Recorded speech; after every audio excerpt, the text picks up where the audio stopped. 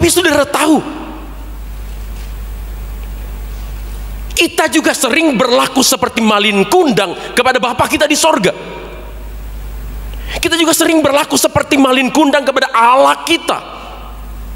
Sudah begitu banyak kebaikan yang dikerjakan oleh Allah di dalam hidup kita, yang diperbuat oleh Allah dalam hidup kita, berkatnya, pertolongan, kasihnya di dalam hidup kita, tetapi sering kali tanda kutip minta maaf, kita juga durhaka, kurang ajar, tidak tahu diri, tidak tahu berbakti, tidak tahu berterima kasih kepada Allah.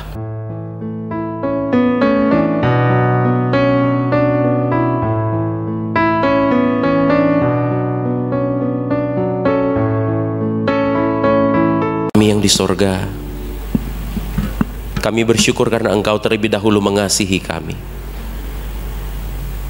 Sehingga kami bisa menyanyi, kami mau mengasihi Tuhan. Sekali lagi kami bersyukur untuk kasih-Mu, untuk kebaikan, untuk pertolongan-Mu, untuk berkat-Mu atas hidup kami.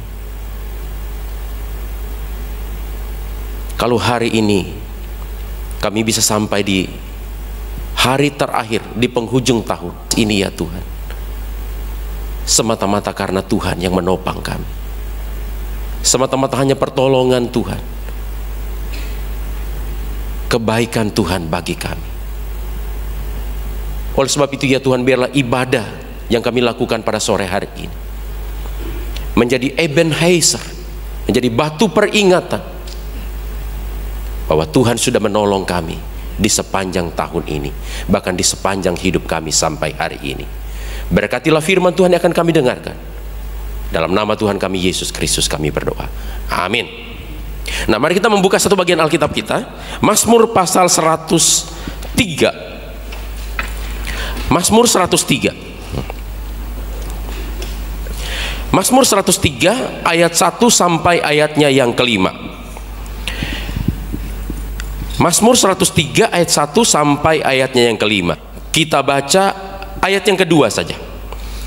Ya, 1 2 3 ayat 2. 1 2 3. Pujilah Tuhan hai jiwaku dan janganlah lupakan segala kebaikannya. Pujilah Tuhan hai jiwaku dan janganlah lupakan segala kebaikannya. Saudara-saudara saya percaya kita semua tahu atau sudah pernah mendengar kisah legenda atau cerita rakyat tentang Malin Kundang yang ada di Sumatera Barat. Nah saudara diceritakan Malin Kundang adalah seorang anak muda desa yang miskin. Tapi kemudian dia pergi ke kota. Dia pergi ke negeri lain. Di sana dia merantau, dia bekerja dengan keras. Sampai akhirnya dia berhasil menjadi orang kaya. Dia berhasil menjadi seorang saudagar yang kaya raya. Nah satu hari sang Malin Kundang kembali ke kampung halamannya. Ketika dia bersandar di dermaga di kampung halamannya, ibunya yang sudah tua renta, yang begitu mengasihi dia, yang begitu merindukan dia setiap hari, ingin bertemu dengan anak yang dikasihinya, yang sudah dilahirkannya, dibesarkannya, dirawatnya dengan sedemikian rupa. Nah, ketika ibunya datang di dermaga ingin menemui Malin Kundang, orang-orang memberitahukan kepada Malin Kundang bahwa ibunya ada di luar ingin bertemu dengan dia. Tapi Malin Kundang berkata, aku tidak mengenal dia. Saudara-saudara, ini adalah satu hal yang sangat ironis. Malin kundang yang dilahirkan, dibesarkan, dididik, dirawat oleh ibunya sendiri. Tapi setelah dia menjadi orang yang berhasil, dia menjadi saudagar yang kaya raya, dia menjadi orang besar, dia tidak dia lupa kepada ibunya. Dia tidak mengakui apa yang ibunya sudah lakukan di dalam hidupnya.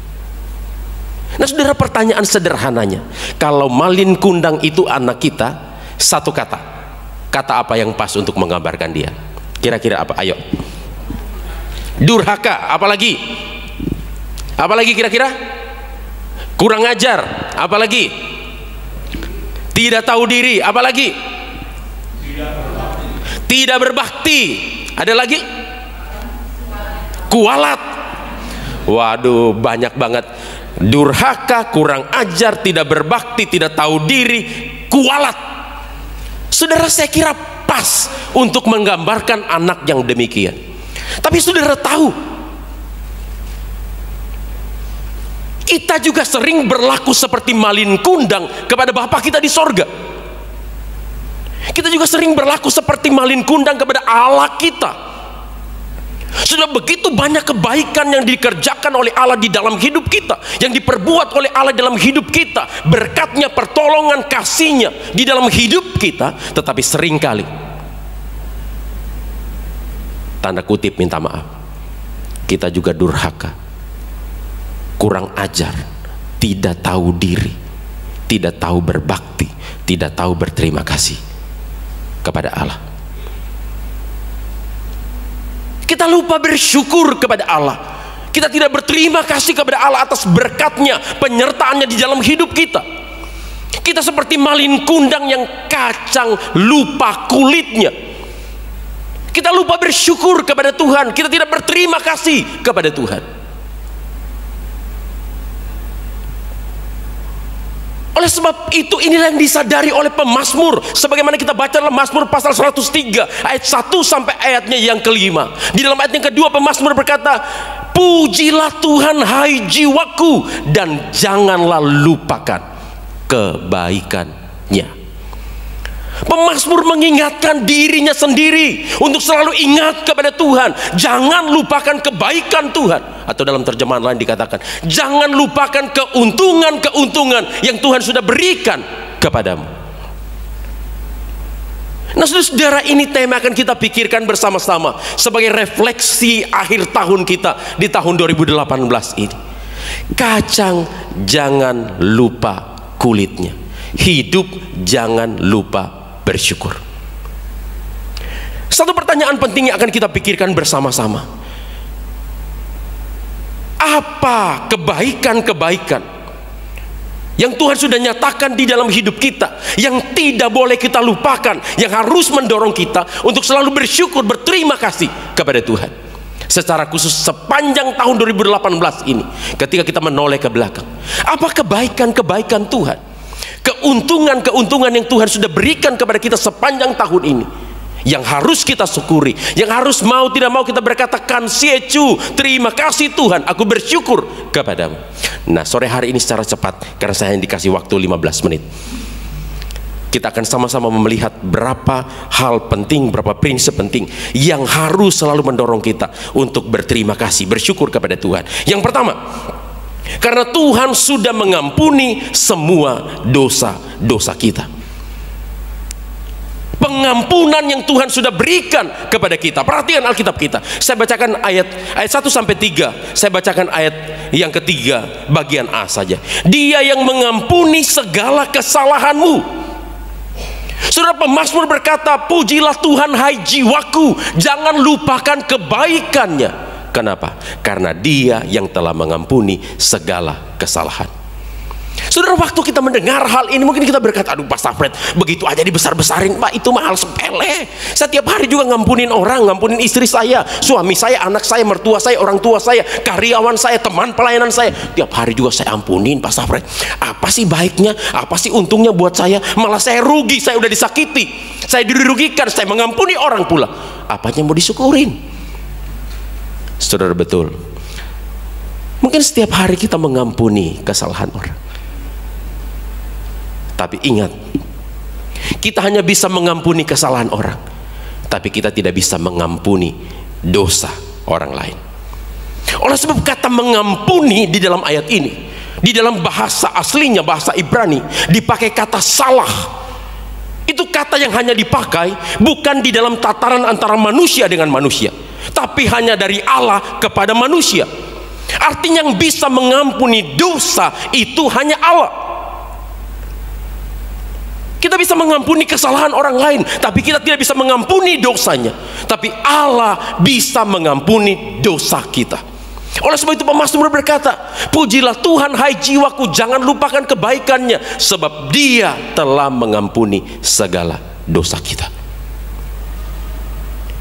Saudara-saudara sepanjang tahun ini mari kita lihat ke belakang. Mari kita pikir kalau kita ajak berhitung. Masih ingat ada yang ingat sepanjang tahun ini seberapa banyak kesalahan dosa yang kita lakukan di hadapan Tuhan? Ada yang ingat? Ada? Nah, kita pakai saja hitung-hitungannya eh, metode penginjilan II. Kalau sehari dosa kita tiga, setahun berapa? Seribu delapan puluh dosa. Kalau usia kita hari ini 8, 80 tahun atau 60 tahun, sudah berapa banyak dosa yang kita lakukan di hadapan Tuhan? Waduh, nggak kehitung lagi. Berapa kontainer pun buat nampung dosa kita nggak akan muat. Tapi Alkitab katakan Tuhan mengampuni dosa kita. Itu yang tidak bisa kita beli dengan uang.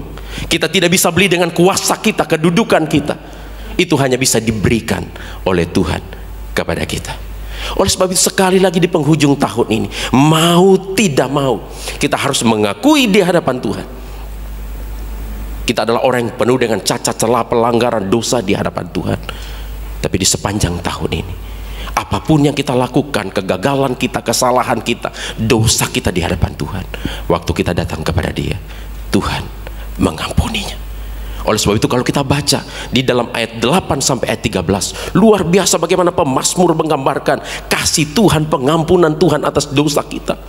Dikatakan Tuhan tidak mengingat-ingat lagi dosa kita. Dia bukanlah seorang pendendam.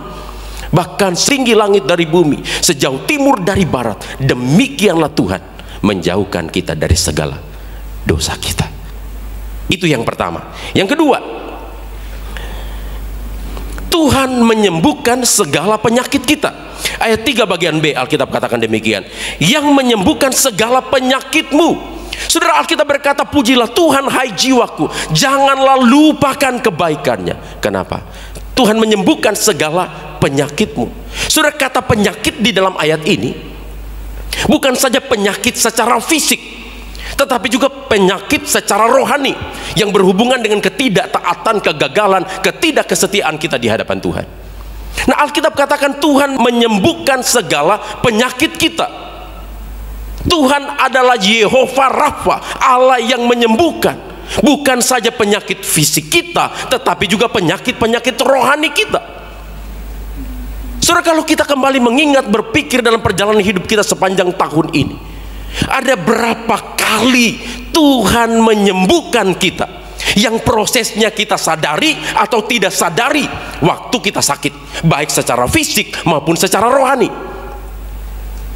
Yang harus melalui proses perawatan medis, tangan dokter, ataupun waktu ketika kita beristirahat, kita tidur malam hari, Tuhan menyembuhkan kita, Tuhan memulihkan kita, sehingga waktu kita bangun, pagi hari kita kembali bangun dengan kekuatan, kesehatan yang baru dari Tuhan.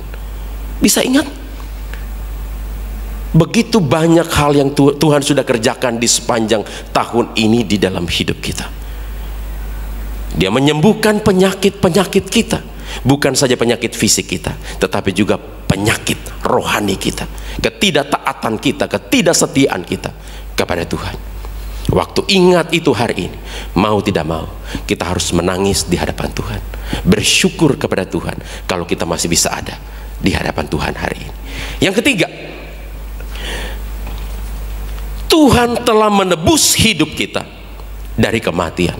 Ayat 4 bagian B Alkitab katakan, Dia yang menebus hidupmu dari lubang kubur. Saudara Alkitab mengatakan pujilah Tuhan hai jiwaku karena dia telah menebus hidup kita dari lubang kubur. Tuhan telah menebus hidup kita dari kematian.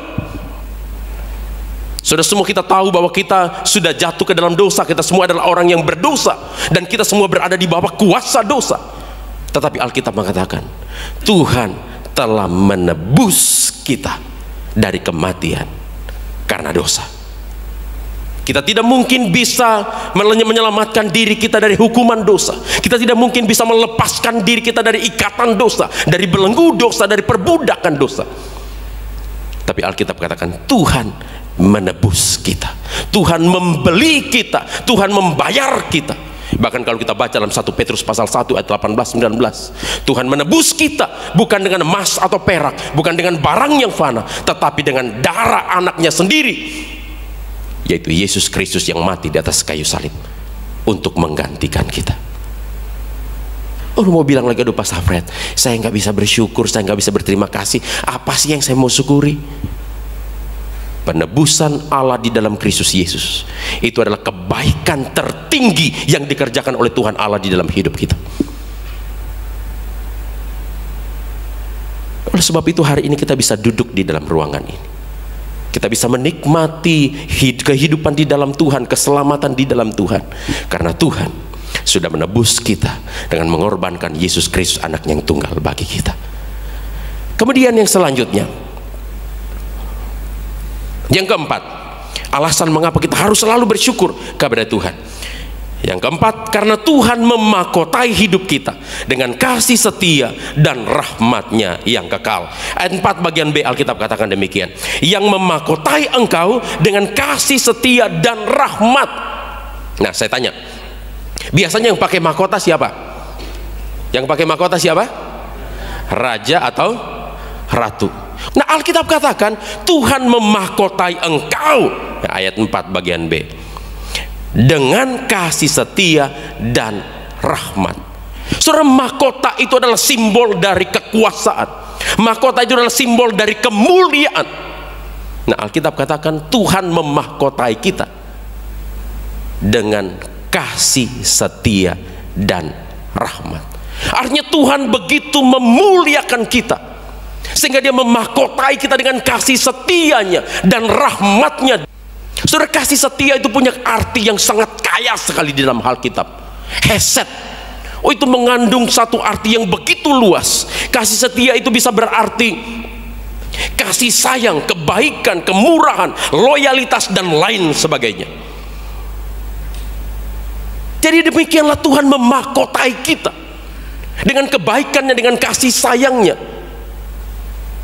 Saudara-saudara kalau mahkota para raja, para ratu di dunia ini satu hari akan berakhir, satu hari akan lenyap, satu hari akan hilang. Terbatas oleh waktu. Tapi Tuhan memahkotai kita dengan kasih setianya. Bahkan dikatakan di dalam ratapan pasal 3 ayat 22 23. Kasih setia Tuhan itu tidak pernah berkesudahan, bahkan selalu baru setiap hari. Luar biasa bukan? Kalau mahkota raja, mahkota ratu ada batasnya. Tapi mahkota Tuhan kasih setia dan rahmat Alkitab katakan tidak berkesudahan. Bahkan selalu baru setiap hari. 365 hari tahun ini. Setiap hari waktu kita bangun Setiap hari ada masalahnya sendiri Setiap hari ada pergumulannya sendiri Setiap hari ada kesulitannya sendiri. Tapi setiap hari waktu kita bangun Ada berkat Tuhan yang baru. Kasih setia Tuhan yang selalu baru setiap hari itulah mahkota kita aduh nggak bisa bersyukur lagi Pak Sapret keterlaluan yang terakhir mengapa kita harus selalu bersyukur kepada Tuhan yang kelima karena Tuhan selalu memuaskan hidup kita dengan kebaikan-kebaikannya. Ayat 5 begini kata firman Tuhan. Dia yang memuaskan hasratmu dengan kebaikan sehingga masa mudamu menjadi baru seperti pada burung Raja Wali. Nah saudara-saudara Alkitab mengatakan Tuhan memuaskan hasrat kita dengan kebaikan-kebaikannya. Pernah dengar uh, peribahasa kemarau setahun hilang oleh hujan sehari. Musim kemarau yang panjang sepanjang tahun akan hilang dengan hujan yang turun di dalam waktu satu hari. Pernah? Kita sering dengar Nah, kata memuaskan di dalam ayat ini itu bisa digambarkan seperti itu. Jadi seperti musim kemarau yang panjang tetapi tiba-tiba dihapuskan oleh hujan sekejap. Nah Alkitab katakan Tuhan memuaskan hasrat kita dengan kebaikannya Di tengah-tengah kemarau hidup kita mungkin sepanjang tahun ini Banyak masalah, banyak pergumulan, tantangan Dalam keluarga kita, rumah tangga kita, usaha pekerjaan kita Studi kita, bahkan gereja kita di tempat ini Sehingga seolah-olah kita seperti berjalan di tengah-tengah kemarau panjang Di tengah-tengah padang gurun, di tengah-tengah kehausan Tapi Alkitab katakan Tuhan memuaskan hasratmu dengan kebaikan-kebaikannya. Saudara kata kebaikan dalam ayat itu dalam bahasa Ibrani itu dipakai kata top. Bukan saja kebaikan-kebaikan secara jasmani, tetapi juga kebaikan-kebaikan secara rohani. Di tengah-tengah kekeringan jiwa kita, hidup kita, usaha kita, mungkin keluarga kita, rumah tangga kita, gereja kita, tapi Tuhan tetap memuaskan hasrat kita dengan kebaikan-kebaikan baik secara jasmani maupun secara rohani. Pujilah Tuhan hai jiwaku, janganlah lupakan kebaikannya. Ini lima hal yang harus selalu kita ingat tentang kebaikan Tuhan yang harus mendorong kita untuk bersyukur, berterima kasih. Ingat kepada Tuhan. Kalau saya singkat, 5S atau 5S. Yang pertama, S yang pertama adalah apa? Forgives, mengampuni. S yang kedua adalah heals, menyembuhkan. S yang ketiga adalah redeems, menebus. S yang keempat adalah crowns, memakotai. Dan S yang kelima adalah satisfies, memuaskan. Nah, inilah lima S yang harus kita ingat hari ini. Yang selalu membawa kita, mendorong kita untuk selalu ingat kepada kebaikan Tuhan. Pujilah Tuhan hai jiwaku, janganlah lupakan kebaikan-kebaikannya woman tahukah? Sungguh Tuhan Yesus